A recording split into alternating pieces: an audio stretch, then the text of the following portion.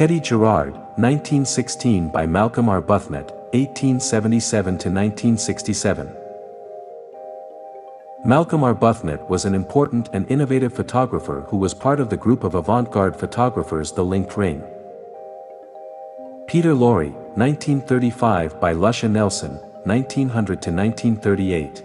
Lusha Nelson photographed striking portraits of Hollywood stars for Vanity Fair, fashion spreads for Vogue, as well as still lives, street scenes and high-profile advertising photos. Picasso, 1949 by Gjon Mili, 1904-1984. Mili was an Albanian photographer. He is best known for his work published in Life, in which he photographed artists such as Pablo Picasso. Thank you for watching. Please don't forget to subscribe to Visual Independence.